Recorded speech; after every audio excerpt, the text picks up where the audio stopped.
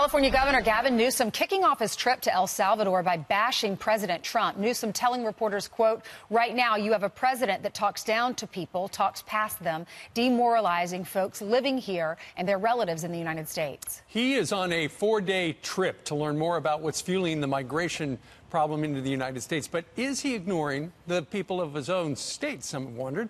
Our next guest son, Drew, was killed by an illegal immigrant in California yeah, uh, without a driver's license and no insurance. And he says the governor's trip is a total waste of time. Joining us now is Don Rosenberg, president of Advocates for Victims of Illegal Alien Crime. Good morning to you, Don. Thank you for being with us.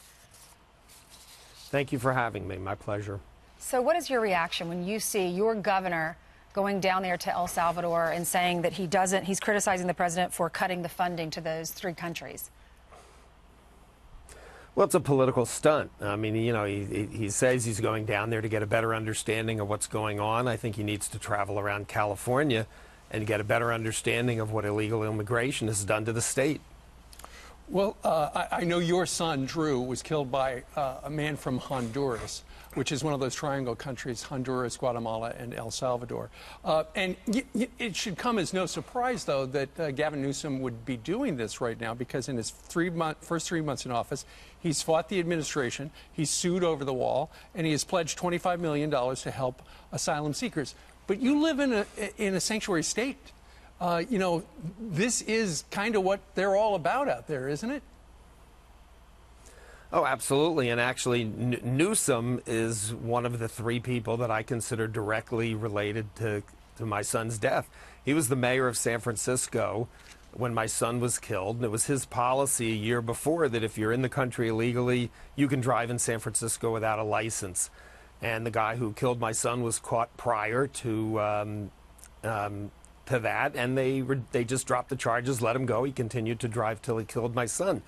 So so Newsom, um, he's ignoring his own state and worrying about everything else. He's look, he's he's posturing for a run for presidency, and he's you know not that he's he's not going to run right now, but um, if Trump wins another term.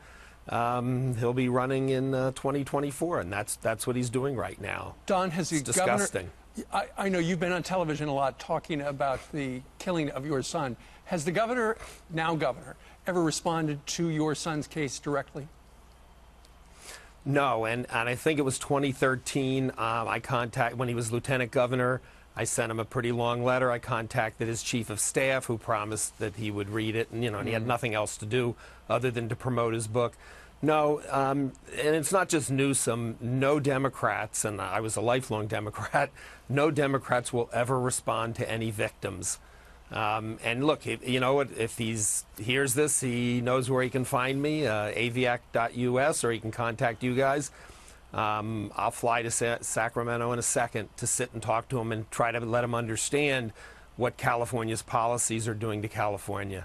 Don, listening to your story and seeing that picture of your son and being parents ourselves, I can't imagine what you're going through. And then to hear you say that you think his policy is one of the reasons your son's not here, do you feel like it sounds like his death would have been preventable or is preventable? And do you feel like the United States and our policies have let you down? How do you get through? Oh, they, they betrayed us. Um, you know, I, I've looked at probably a thousand, maybe even more cases in the last eight and a half years. And in almost every single one, and I'll say every single one, I just can't remember any that aren't, there was there were prior instances where the person who ended up killing an American citizen or a legal immigrant could have been detained and deported. And they were let go. And the same thing happened in mine. Like I said, the guy was caught driving without a license in June. They let him go, and November he killed my son, and that that's one of the probably one of the simpler cases. So no, our government has betrayed us. Uh, President Obama betrayed us.